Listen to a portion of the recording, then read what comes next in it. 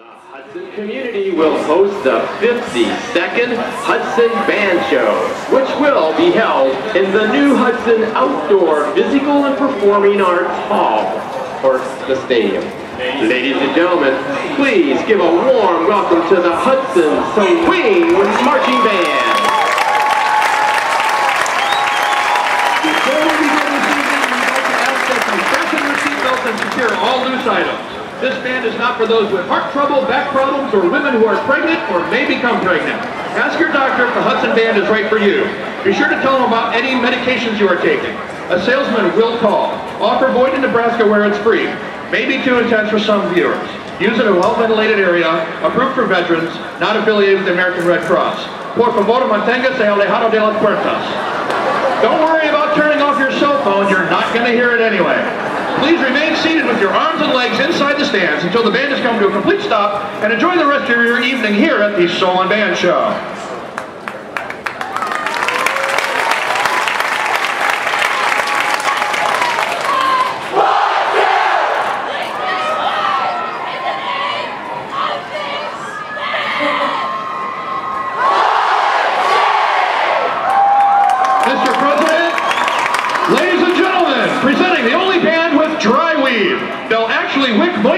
From you.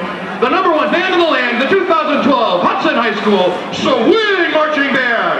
Under the direction of Bev O'Connor, John Burrington, Cal O'Connor, dance instructor Jennifer Kibler, band exorcist Brian Sunkin, and led on the field by head senior squad leaders and 2012 women's synchronized kiddie pool diving gold medalists Annie Greer and Annie Scott. Here's our tribute to the Ohio University Marching 110, where none of our staff graduated from, Seven Nation Army.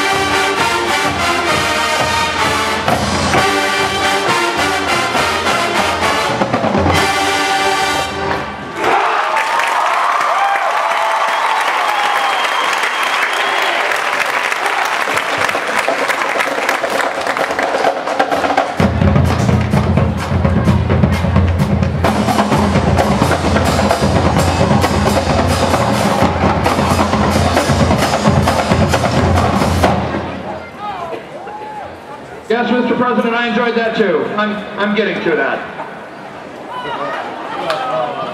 Lyrically, this next song is a simple ode to dancing to a good beat, hanging out, and looking cool, which makes it a perfect choice to feature the lovely Hudson dancers as they flail their limbs wildly in tribute to the Flying Spaghetti Monster.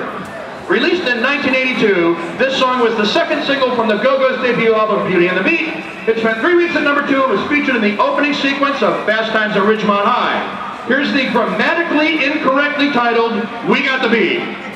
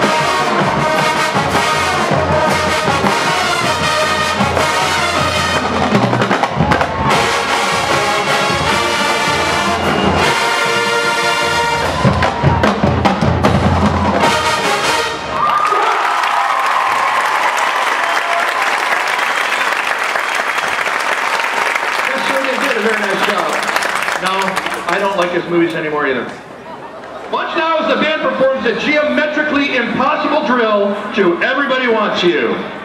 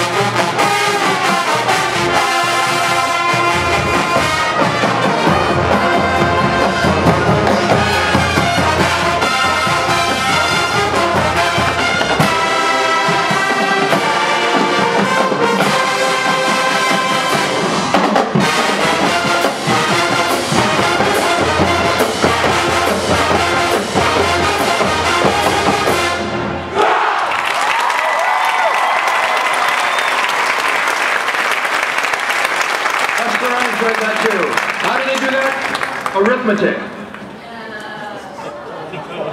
Finally, this evening, we finished up with a song released in September of 2011, which went straight to number one. Worldwide, it has sold three or 6.3 million copies, making it one of the best-selling singles of all time, which is kind of a frightening prospect. As of last month, it has sold 4,601,000 digital downloads in the United States alone, and of course, it's been covered by the cast of Glee. It may be most famous for its music video, which is surrounded by controversy when 61-year-old Northern Ireland farmer Alan Graham withdrew his permission to film in his barley field in Bangor, County Down, after taking issue with Rihanna's clothing, focusing on a red bikini top which he thought was an inappropriate state of undress, which is just one more reason to love the Irish. From Rihanna, here's We Found Love.